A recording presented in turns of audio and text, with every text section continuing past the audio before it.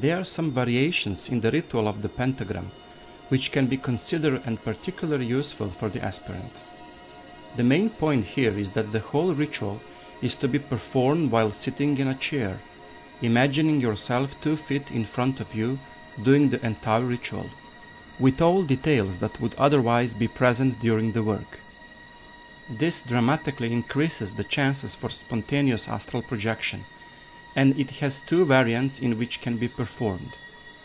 The first is to open your eyes, imagining you are, in fact, there, looking to your physical body with your new eyes, and doing the whole ritual from there, vibrating formulas and drawing a pentagrams from there. If necessary, experience failure, but there, not here. Another method, which can be run simultaneously with the first, is easier but not less interesting. You need to imagine your figure, which performs as a puppet in front of you the whole ritual.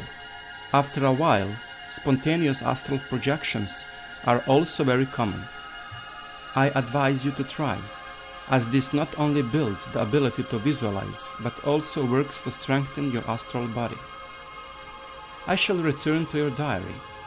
When I told you to write about yourself in the third person singular, this should be such an excellent parallel, and it seems much easier than it actually is. You should hear your voice differently than when you speak regularly. It is easy to determine such a difference when you hear yourself on audio recordings. It is the same with the plastic visual perception of you. For all your life, you were watching the movements of other characters, and you are less aware of how you act in nature. These two kinds of techniques, where you imagine yourself as a puppet and look at yourself from another perspective, are very well accepted both as a method and as attainment. Do not be misled by those who claim that work on the astral plane could be dangerous and that there is a possibility that you will not return. Sometimes I wish I could really experience such a long lasting stay on the astral plane and worry about how I should return home. So silly thoughts. Your whole trouble, as long as you are alive, is, however, to remain there as long as possible. Your return is inevitable and unavoidable, so use your precious time there as well as you can. Once you return, you may be sorry for the missed chances, because you did not use your time wisely there. I sincerely believe that mastering astral projection is extremely important for every aspirant, and I appeal to my students to experience it as soon as possible. What matters most is that the neophyte gets a sense of the astral plane, in which very different rules apply. I would assume that most of the aspirants would give everything for five minutes of consciousness in the astral body. Unfortunately, almost all techniques and methods of astral projection about which you can hear or read are entirely unusable. In a similar way as the ritual of the pentagram, those techniques and mechanisms which drive the process of change are usually ignored, with attention given to unimportant details which take so much energy and your time. I will surely return to this wonderful subject in a more separate and particular manner. Let us return to the ritual of the pentagram. In this ritual, we deal with the elements, with the formula of tetragrammaton, at least as it is understood in the Golden Dawn. At the four corners of the world, we place pentagrams and the archangels. I will remind you of the text of the ritual. So you say, In front of me is Raphael, Gabriel is behind me. I just want to ask, whom are you talking to? I often hear students quickly and hastily say, In front of me, and then inhale the air rapidly as if they would dive and start yelling the name of the archangel. In case they truly exist and actually watch that show, it would be quite silly for them to observe all of this haste. First of all, there is no need to yell aloud to yourself what actually is in front of you. Simply vibrate the name of Raphael without saying in front of me, while imagining the corresponding entity before you. Also, when you draw the pentagram, it is usually stated that the lines are to be made by wand or dagger. My personal opinion, since you are working with the formula of Tetragrammaton, corresponds with your own body. You have four fingers plus a thumb, such as the four elements of the formula plus the fifth for the spirit, so feel free to assign each finger with the corresponding element. We could talk endlessly about the variants. These were just some general observations that you can consider for yourself. I personally use the thumb between the third and the fourth finger as mano in fica. There is a personal motive as much as logical explanation for a thumb. If you are observing the fifth element as the letter shin in the middle of the Yeheshuah formula, also the fifth element has the ability to obtain the form of any other element as desired. Most people use their index finger for pointing, and that finger can be assigned for fire.